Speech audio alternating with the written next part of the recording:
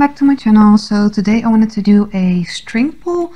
I already put down a black base and I just cut these lengths of knitting yarn. And I'm going to add my um, acrylic paints from Ikea on top of it in bands. Put it on an easy to clean piece of um, plastic. I saw this technique being done on uh, Facebook. I will put the put it up here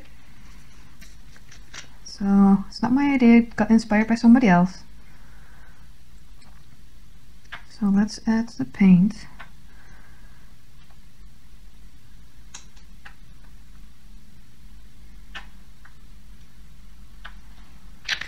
Will be quick because you don't want your base to be dry, but you don't want to rush either. maybe that wasn't that great of an idea to do the green next to the orange. Well, too late for that now.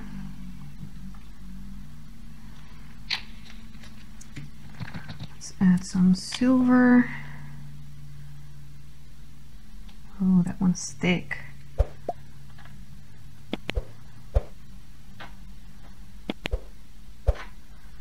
Um,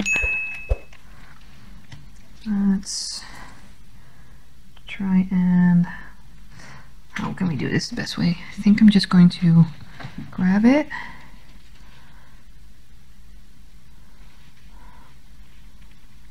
Just move it from side to side because I don't want the colors to mix.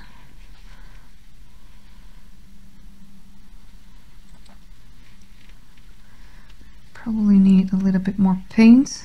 As you can see the backside isn't coated at all.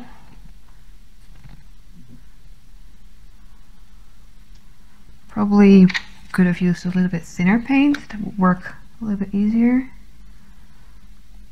But I don't want it to go and run all over the place when I'm adding it to my base.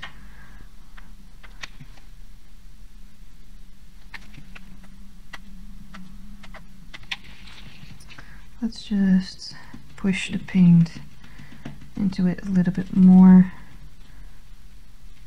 As I said, using a little bit thinner paint would probably work better. Orange is looking pretty good. Yellow as well. I think we're ready. Uh, let's see. So, what I'm going to do is I'm going to pick one up.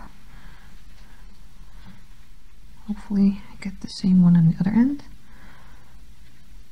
Pick it up straight like so. Then put it on the canvas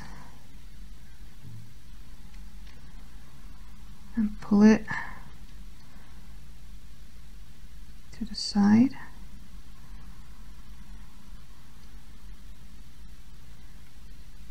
and up like so.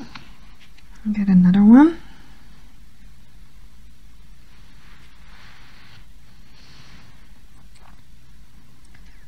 The colors on the same height. And pull it to the other side.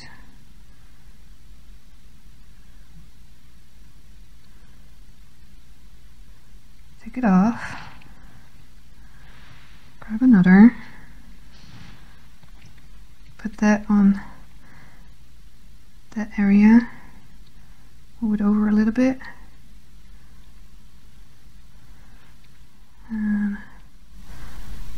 curve it up a little bit maybe.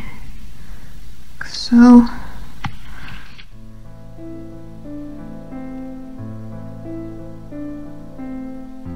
There.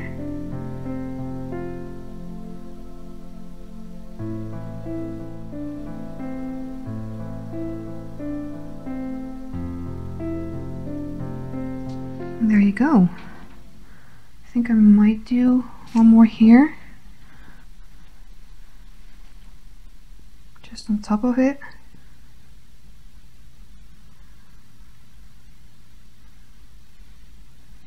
and let's do that on the other side as well kind of like it let's try and line it up.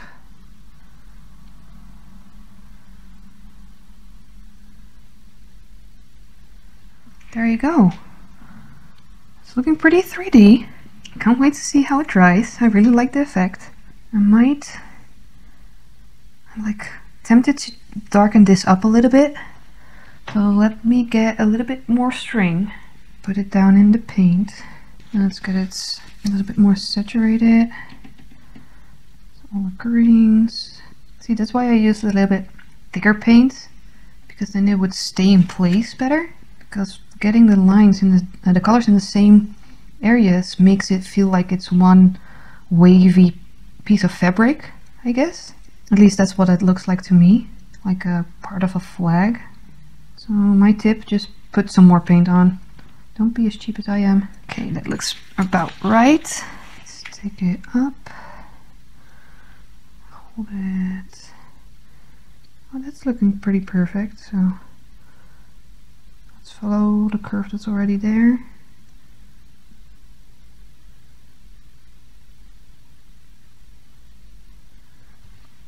Okay, I'm liking that. So let's see how this one dries. I'll show you the final result at the end. Thank you for watching. Bye everyone!